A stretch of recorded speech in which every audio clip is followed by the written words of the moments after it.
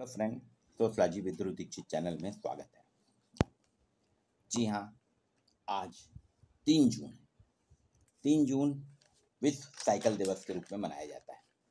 Cycle, जिसे अंग्रेज़ी में बाइसिकल कहते हैं, कुछ यार दोस्त हिंदी का अनुवाद करते हुए लौह रथ भी कहते हैं।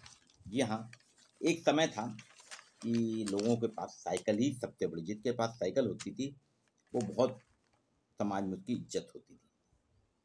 जबलपुर शहर में तो नाइन्टी नाइन्टी उन्नीस सौ नब्बे, नाइनटीन नाइन्टी तक जबलपुर एक ऐसा शहर था भारत का जो साइकिलों के लिए सबसे ज़्यादा शहर था।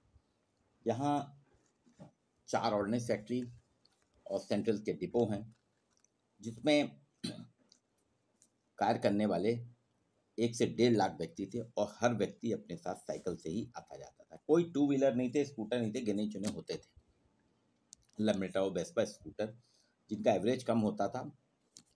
पाँच छः रुपये लीटर पेट्रोल भी खरीदना सबके बस की बात नहीं है। आजकल तो सौ रुपये एक सौ दस रुपये लीटर भी पेट्रोल खरीदता है। तब साइकिल ही चलाते थे। हर घर में दो दो तीन तीन साइकिलें होती थी। बच्चे स्कूल जाते थे साइकिल से, कॉलेज जाते थे साइकिल से, पिताजी फैक्ट्री जाते थे साइकिल से। तो जौलपुर में इंडिया की सबसे ज़्यादा साइकिलें साइकिल दिवस की शुरुआत तीन जून 2018 से हुई। संयुक्त राष्ट्र संघ ने भी, कई एथलीट्स ने बात की साइकिलिंग सबको कराया जाए, साइकिल चलाना चाहिए। आज जो है, नीदरलैंड वर्ल्ड कैपिटल कहलाता है साइकिल का, वर्ल्ड कैपिटल। क्योंकि यहाँ की आबादी 1.7 करोड़ है और यहाँ दो करोड़ साइकिलें अब सोचिए आप, नीदरलैंड में बहुत ज़्यादा साइकिल साइकिल है क्या? साइकिल कैसे बनी, साइकिल क्या है, साइकिल किसे कहते हैं? साइकिल से देखिए एक तो आपका वेट लॉस होता है, बॉडी पोस्चर बहुत सही रहता है, फ्लेक्सिबल बॉडी बनती है, और आप इसको चला के आपकी पूरी एक्सरसाइज हो जाती है। जो लोग साइकिल चलाते हैं, उनको घुटने का दर्द कभी नहीं होता। मैंने बहुत साइकिल चलाई, आधार ताल से यूनिवर्सिटी पीएचडी करने आता था, चौदह किलोमीटर साइकिल से आता था और साइकिल से जाता था हम लोग का एक दौर था। पहले तो साइकिल ये था, नब्बे के दशक तक, नब्बे के दशक तक कि लड़की वाले जब शादी करते थे अपनी लड़की की तो उसको साइकिल देते थे कि दूल्हे राजा पीछे कैरियर में उसको बैठा के ले जाएँगे मेरी लड़की। साइकिल और मर्फी का ट्रांजिस्टर दिया जाता था। कुछ लोग तो मांगते भी थे। तो ये साइकिल अब साइकिल का इतिहास क्या है? इसका इतिहास जो है बहुत, इसकी विकास यात्रा बहुत रोचक है। बहुत समय से हमारे वैज्ञानिक सोच रहे थे, जब चके का आविष्कार हो गया था, कि कुछ ऐसा बनाया जाए जो बैलगाड़ी रथ से ज़्यादा तेज चले। अब कुछ ना कुछ उनका इनोवेशन की बात है, मानव इनोवेशन करता ही रहता है। उनका था कि इसमें कोई ऐसी बाहरी शक्ति, है ना? बाहरी शक्ति लगा दी जाए, कोई ऐसा जनरेट कर दिया जाए जिससे कि व्यक्ति को कुछ जाना करना पड़े और बहुत चले। और चलना, आना जाने के लिए सुविधा सन 1817 में जर्मन के एक व्यक्ति, कॉल वॉन ड्राइस ने लकड़ी के छकड़ा, उसे छकड़ा कहते हैं, दो पहिए को लकड़ी के एक फ्रेम से जोड़कर साइकिल बनाई। 1817 में जो जर्मनी व्यक्ति कॉल वॉन ड्राइस ने जो छकड़ा बनाया, उसको छकड़ा कहते थे पहले। तो उसमें लकड़ी के चके होते थे, लकड़ी का फ्रेम होता था, लकड़ी का हैंडल होता था। लेकिन पैडल नहीं थे। अब इसमें क्या करना पड़ता था? इसको चलाने के लिए आपको एक आदमी बैठता था और पीछे से एक धक्का देता था। या आप दोनों पैरों से जैसे तैरते ना, ऐसे साइकिल चला इसमें बहुत ताकत लगती थी और उतनी चलती नहीं थी। धकेलना पड़ता था एक तरीके से। तो इसमें पसंद नहीं आया लोगों को। अब जो व्यक्ति ताकतवर है, बलवान है, जिसके पास धक्का देने वाले हैं, वो तो चला लेता था। अब इस छकड़े को सुधारने की बात हुई। फिर 1840 में आगे वाले पहिए में दो पैडल लगा दिए गए। अब दो पैडल से आगे वाले चक्के में पैडल लगाए गए और वहीं बैठता था आदमी, उसी के ऊपर उसकी सीट थी। फिर 1845 में एक फ्रांसीसी विद्वान, एक साइंटिस्ट था, फ्रांसीसी निकोलस, उसने इसमें ब्रेक लगा दी। क्योंकि आगे वाले चके में पैडल होने के कारण ढलान में जब बढ़ती थी, रोकती, रोकना मुश्किल होता था तो उसने ब्रेक के वो लगा दिए, चके, ब्रेक फिट किए, ब्रेक शूज़, जिसको कहते हैं।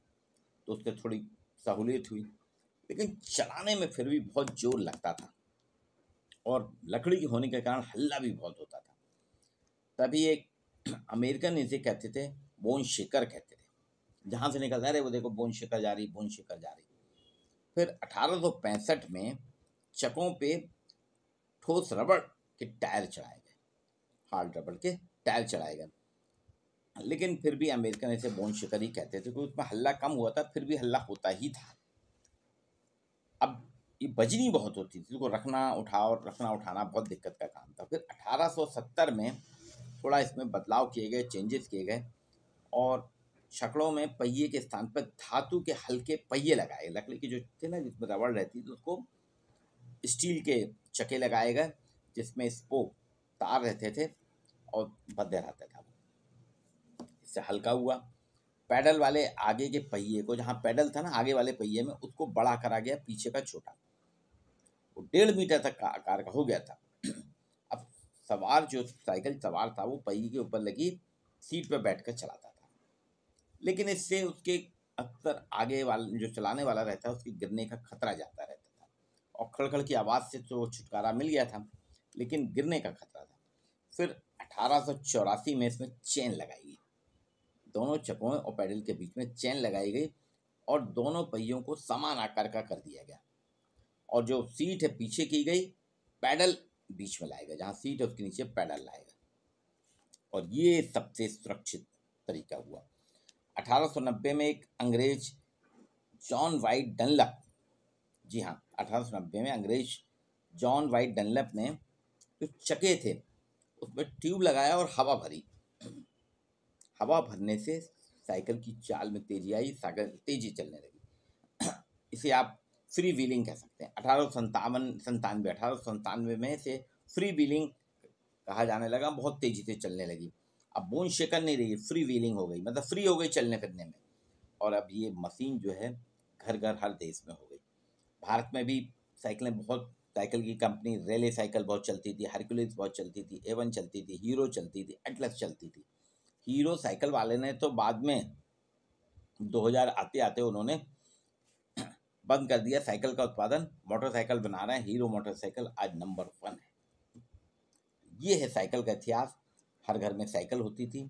साइकिल चलाइए, साइकिल चलाते चलाते आप अपने बॉडी को, अपने शरीर को तंदुरुस्त रखते हैं, आपका शरीर अच्छा रहेगा।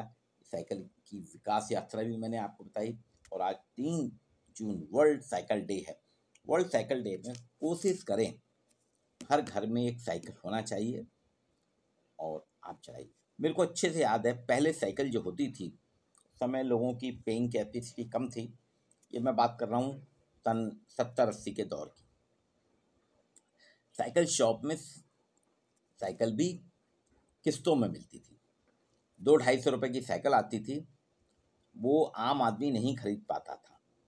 क्या करता था? दुकानदार उससे पच्चीस रुपये में साइकिल दे देते थे और किस्त बाँध देते थे कि आप हर महीने दस रुपये पच्चीस, जितनी आपकी सुविधा हो उस हिसाब से करिएगा, ले जाइए। तो वो दो सौ या ढाई सौ रुपये की साइकिल जो होती थी वो पड़ती थी तीन सौ रुपये की। नागपुर में तो साइकिल, ये मैं आपको बता रहा हूँ, सन सत्तर की बात। उन्नीस सौ पैंसठ से सत्तर में नागपुर में था, पिताजी के पास साइकिल थी। नगर निगम से एक टोकन मिलता था, उसमें आपको सालाना फ़ीस जमा करना पड़ती थी। वो शायद दो या तीन रुपये होता था, एक टोकन मिलता था, रिन्यू होता था वो। जैसे आपका गाड़ियों का रजिस्ट्रेशन होता ना, आपको देना पड़ता है। रोड टैक्स वगैरह, ऐसे ही साइकिल का भी लगता था, टोकन वो रहता था। तो वो सब खत्म हो गया। दो ढाई सौ रुपये की साइकिल आती थी। वो भी किस्तों में खरीदी जाती थी। एटलस हीरो एवन ये साइकिलें बहुत चलती, हल्की थी। हरकुलिक्स महँगी थी रेले साइकिल महँगी थी। उस दौर में हर घर में सभी के यहाँ एक एक साइकिल होती थी। शान की सवारी कहलाती थी। लड़के तो बहुत तेज़ी से चलाते थे साइकिल। कंपटीशन होता था साइकिल में। इसलिए उसको वो कहते थे लोह रथ। और ये जितने भी उस दौर के, अस्सी के दौर के हैं, सब साइकिल सवार हैं, सब साइकिल चलाते थे और उनकी सेहत आज भी बहुत अच्छी है, बहुत ही फिट हैं वो। साइकिल का ये दौर था। उस समय साइकिल पे ही वो होते थे। साइकिलिंग की जाती थी, साइकिल की रेस होती थी। कौन कितनी जल्दी पहुँच रहा है? साइकिल ही हमारे लिए साधन था। इसमें पीछे कैरियर था। उसमें गेहूँ ले जाते थे, गेहूँ पसाने जाते थे, बाज़ार से खरीदारी करते थे। फिर पीछे एक लोग को बैठाते थे, स्कूल, कॉलेज जाते थे, सभी के साथ में ये दौर था, साइकिल का। अब धीरे धीरे धीरे साइकिल का दौर मोटरसाइकिल ने ले लिया, कार ने ले लिया, और उसके कारण देखिए शहर में यातायात भी बहुत ही बिगड़ता जा रहा है। एक्सीडेंट, रोड एक्सीडेंट हो रहे हैं, साइकिल से कोई रोड एक्सीडेंट नहीं होते थे, लेकिन अब बहुत एक्सीडेंट हो रहे हैं। एक्सीडेंट के साथ साथ पॉल्यूशन भी बढ़ता जा रहा है। गाड़ियों का पॉल्यूशन साउंड पॉल्यूशन है एयर पॉल्यूशन सभी चीज़ बढ़ रही है। तो साइकिल सेहत की सबसे अच्छी सवारी है। मेरा आप सभी से निवेदन है कि सभी के घर में एक एक साइकिल हो और रोज़ नहीं कर पाते हैं। तो हफ़्ते में दो या तीन दिन एक दो किलोमीटर साइकिल का की सवारी ज़रूर करिए। साइकिल चलाएँगे, आपका शरीर स्वस्थ रहेगा बॉडी फिटनेस रहेगी, शरीर का पोस्चर सही रहेगा हाँ आपके घुटनों के दर्द जो हैं, वो ख़त्म हो जाएँगे। आप देखिए, घुटनों की समस्या जो है, नब्बे के बाद ही बढ़ रही है। क्योंकि तो साइकिल चलाना बंद कर दिया। नब्बे के दशक तक के लोगों को साइकिल की चलाने के कारण उनके घुटने इतने मज़बूत रहते थे, उनको कोई प्रॉब्लम नहीं थी। आज के लिए इतना ही। वीडियो को लाइक और शेयर ज़रूर कीजिए।